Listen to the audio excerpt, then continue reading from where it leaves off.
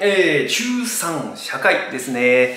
えーと、過去問からですね大問7ということで、えーと、今回からですね、えーと、新しくと言いましょうか3年生、え、公民の内容ですね、え、こいつがプラスされてきますので、まあ、そこの部分についてちょこっとね、まあ、見てみようかなということでございましたまだまだ範囲として狭いので、まああのね、まあ、聞かれてくることってそんなにないわけですよ。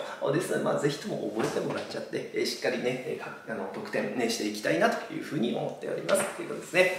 はい、ではね、いきましょう。はい、なんちゃらかが進み、えお金や情報の移動が地球規模で広がることで。はい、だから、あのお金や情報の移動が地球規模で広がることを何かというんだっけね、ということですね。はい、そうするとさ、言葉出てきますか？はい、グローーバル化と言いますね。グローバル化。ね。はい、えー、お金や情報の移動が地球規模で広がること、ね、グローバル化と言いますね。えー、ということで、世界中の企業がより良い商品をより安く提供しようっていうことで、まあ、争ってる、競ってるわけですね。はい、そのことを何と言うんだろうかとね、えー、いうことですね。はい、とにかくね、あの、より安くいいものを提供しようっていうことで、もう世界中の国々がですね、まあ、競っててるわけですよ。はい。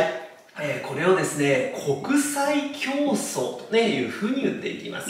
はい、国際競争ですね。えー、国えー、国際競争ね、国際競争と、ね、いうことですね。えー、があ激しくなる。はい、その一方でですね、不得意な産業については他国に頼る。ね、まあですからね、得意な分野に関してはこういうふうにね、もうどんどんどんどんいいものをより安くっていうことでね、えー、競争、競争していこうとね、いうことなんだけれども、いやちょっと苦手なものに関してはね、ちょっとその得意な国とかに頼っちまおうぜっていうことで、えー、どんな動きも見られるようになった。ね、こういったね、他国に頼ることを、はい、国際、はい、国際、分業というふうに言って、まあ、分業ね、まあ、分けるということですね。はい。ですから、得意な部分については、まあ、とにかくとにかくね、もう突き詰めて、えー、そして、苦手な部分に関しては、大国にね、得意な国に頼り頼りましょうということで、えー、国際分業というね、そんな動きも見られるようになってきたということでございました。はい。で、またちょっとお話変わりまして、社会集団の中で人々とつながり、助け合い、互いを尊重しながら共に生きていくということから、難しいね。え、人間は何て言われるんだろう？っていうことですね。はい。ここで、えっ、ー、とね、漢字5文字で何か入れてくれっていうんです。社会集団の中で、え、人々とつながり、まあ私たち人間ですね、助け合い。そして互いを尊重しながら一緒に一緒に生きていく。えなんていうところから、はい、人間が、はい、社会的存在なんていうふうに言うんだよ。と、ね、社会的、えー、社会的存在ですね、えー、と言っていくというふうにね言われていくということでございました。はい、それまた一つその社会集団の中においてに、えー、人々の間に何かが起こることもあるということですね。でその場合は解決策を話し合って何を目指そうとするこの流れ結構ね、あの、あれあの言葉が聞かれる時もこれですよね。社会集団私たちね、まあ人との関わり合いの中で、やはり自分の意見だけがっていうわけじゃなくてですね、えー、人との、はい、何かこう、まあ、揉め事とでも言いましょうか、えー、そういったものも起こってくる場合がありますよねっていうことですね。はい。で、そんなような意味で、ここの人々の間に、はい、何が起こるのかということですね。はい、そうしますと、ここでは、はい、対立ですね、対立。えー、対立が起こることもあるということなんです。ただ、その場合は、はい、しっかりこう話し合いなどをしてですよ、話し合いなどをして、えー、まあ、解決策、ね、見つけていくわけです。で、お互いが受け入れられるようにね、え、そういったようなことで、はい、合意を目指そうとしていくということですね。はい、合意を目指そうとしていくと、ね、いうことで、このね、対立と合意っていうのもね、結構言葉として、まあ、ここの部分に関しては、え、聞かれてくることもあるのかなというようなところでございました。ということですね。はい、そしてね、えー、ちょっとおも面白いっていうかね、えー、問題っていうか、まあ、変わった問題として、あの、年中行事っていうのがある。まあ、ちょっとこの辺じゃ消しちゃうよ、消しちゃうよ、消しちゃうよ、消しちゃうよ、消しちゃうよ。ね。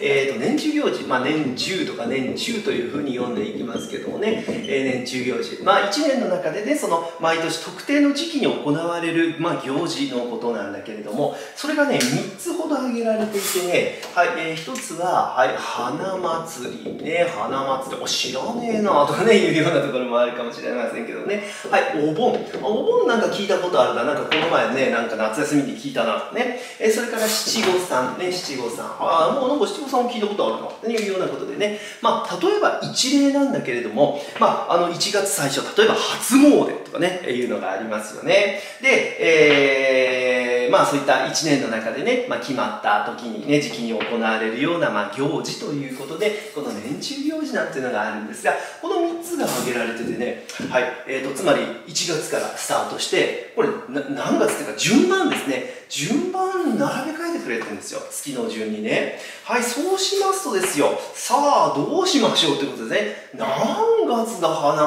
祭りを、盆は何月七五三ってっていうことですね。